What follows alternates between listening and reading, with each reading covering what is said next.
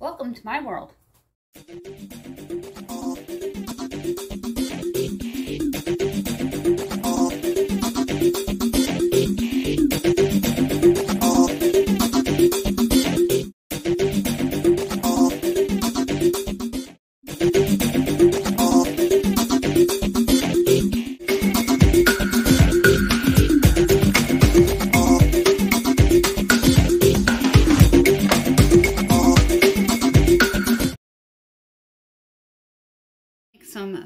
Bell peppers for the crock pot today. I have an onion, three beautiful bell peppers, ground beef, and some garlic salt black pepper supreme. Just a few teaspoons. It's to your taste and preference. We do about two and a half to three.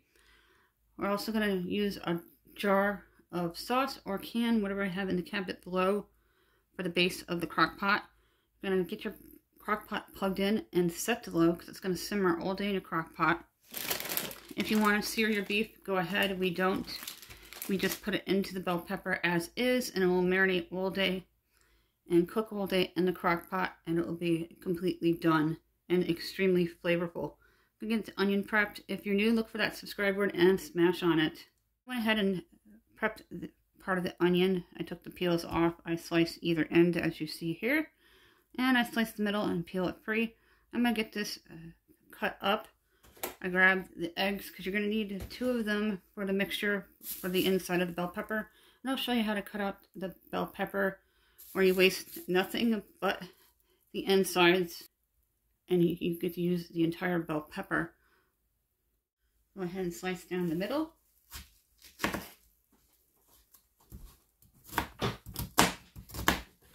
And I do long and short.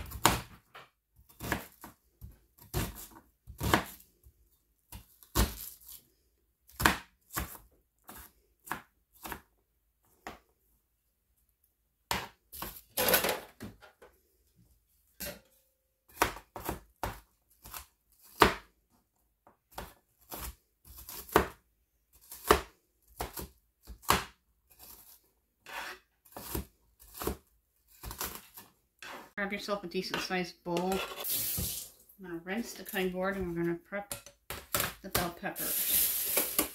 These we got on sale at ShopRite. They were beautiful. We got the loose ones for a great buy. You can check out our grocery hauls. We do ShopRite, Walmart, BJ's, Price Chopper occasionally, and Hannaford. Those are the supermarkets near me and Dollar Tree separate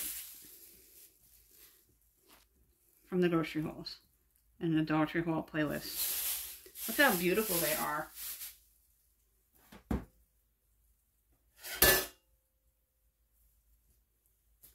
Now, when you cut the pepper, it's close to the edge like the onion. If you know how to regrow food and you have a place for garden, which I don't, I'm going to keep this part of it. This snapped off really fresh. You can save this from compost or for your garden. And look how beautiful that is. And I'll rinse them because I only rinsed them when we're about to use them. Because the water, if you rinse them in advance, will add to moisture and they rot faster.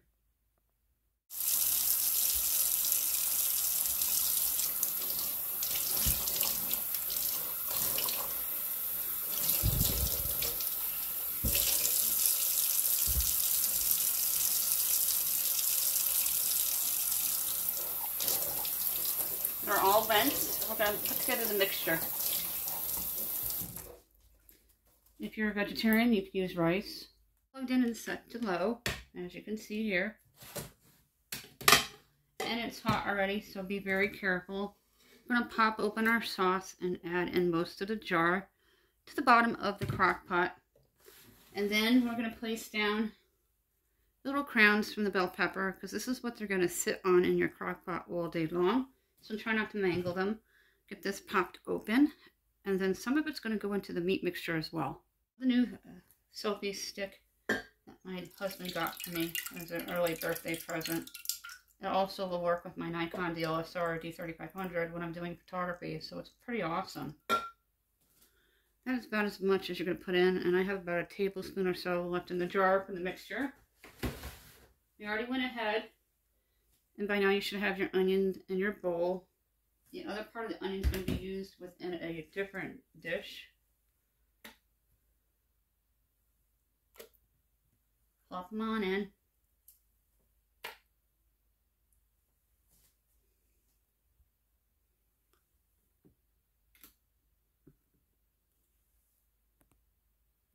And there's a close-up. Go ahead and add in the rest of the sauce. A couple of tablespoons. A little more than I expected. A couple eggs.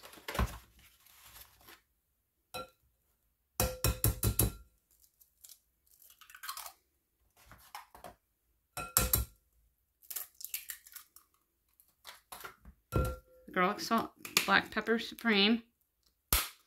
If you don't have the supreme in your home, to your taste with your favorite spices. I'm going to add the panko.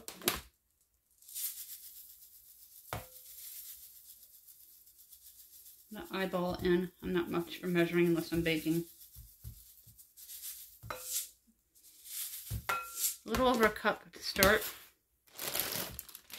My ground beef, again, if you went ahead and seared your beef first, that's fine. Crock pot will do all the cooking and it's just as flavorful without that step and less dishes. This is going to be a one pot slow cooked stuffed bell pepper. And you're going to take your clean hands and you're going to combine everything in the bowl.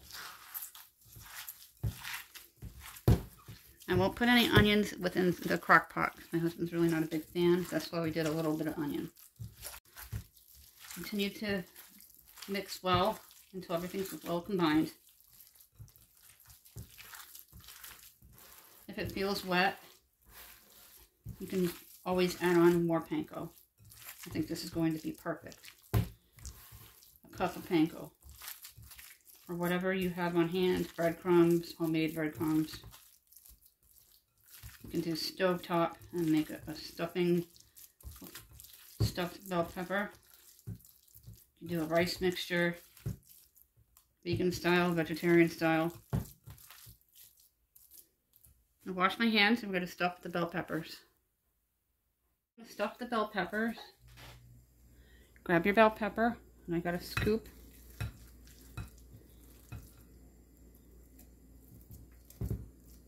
And stuff them.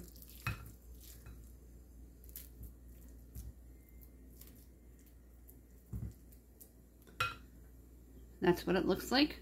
we're going to place it into the crock pot. Sit it on one of the crowns so it stays. Look it, pretty cool. I'm going to stuff the other two, get them into the crock pot, cover the crock pot, and it's going to cook on low all day, and I'll show you what it looks like later when they're all done. I'm going to probably serve mine with rice. Grab your bell pepper, and there's going to be meat mixture left over and I'll make a miniature meatloaf.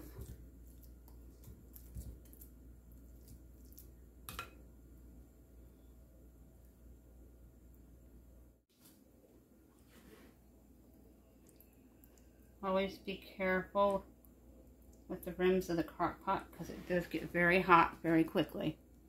And for the third bell pepper, look how beautiful these are.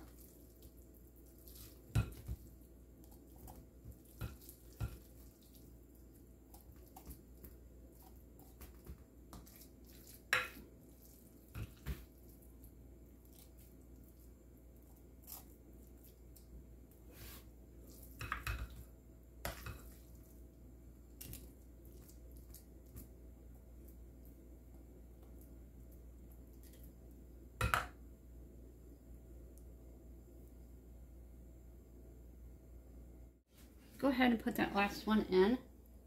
Be very careful. It is extremely hot.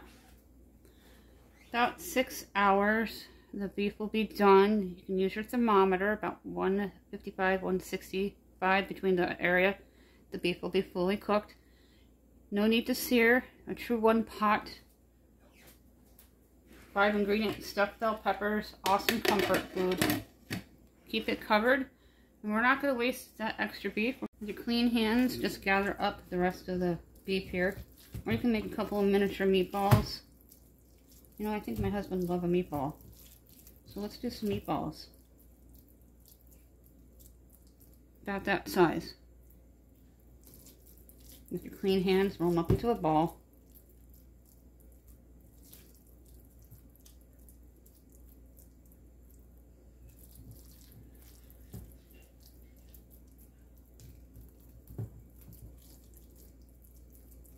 I'm going to have to do a meatloaf video. It's been a while. I haven't had meatloaf in a long time. You're going to take these meatballs and put them into the crock pot. Just make sure they're all about the same size.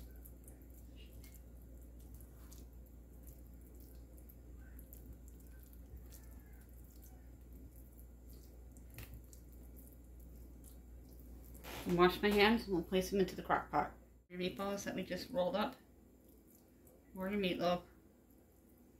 Drop them in the front.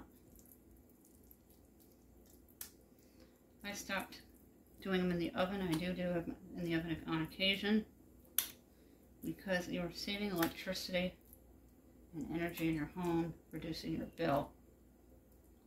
Just let them cook with the bell peppers all day. And you can have a meatball on the side. I know my husband will snack on them. Or you can freeze them for another day and make meatball subs. Is that rice from Dollar Tree. It's Eat Regal. They also carry it at my BJ's, which is like Costco's I've seen. And Target. This rice cooks perfectly every single time.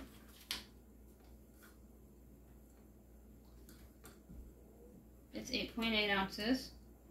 Look how beautiful that rice is. Now I'm going to take a bell pepper out and put it onto the plate of rice. My husband doesn't want any rice, and I love rice. You can turn your crock pot all the way off. We do giveaways every 100 subscribers.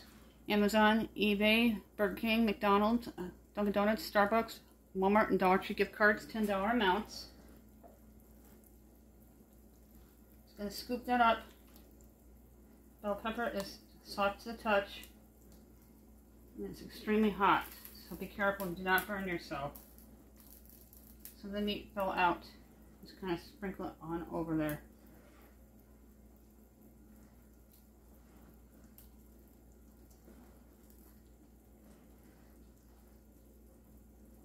You must be subscribed in U.S. residents. If you're new, you must comment and become part of the growing community. Please be kind. We're not responsible for lost or stolen prizes through the mail. If you won in the past 60 days, you gotta wait out 60 days. If you've won and you don't answer within two, you'll be disqualified. We're looking for 10 people to give out a five items price pack from the Dollar Tree valued at $6.25. Here's what it looks like. It is piping hot, so let it cool way down. Perfect stuffed bell peppers over a bed of rice. We're on Instagram. My email is countryboots1268 at yahoo.com. We're on Facebook. I have a page and group. Check that out. Make sure you like and join. The playlists are all listed down below with the rules to the giveaways. Thank you for watching and don't forget to subscribe. Another look.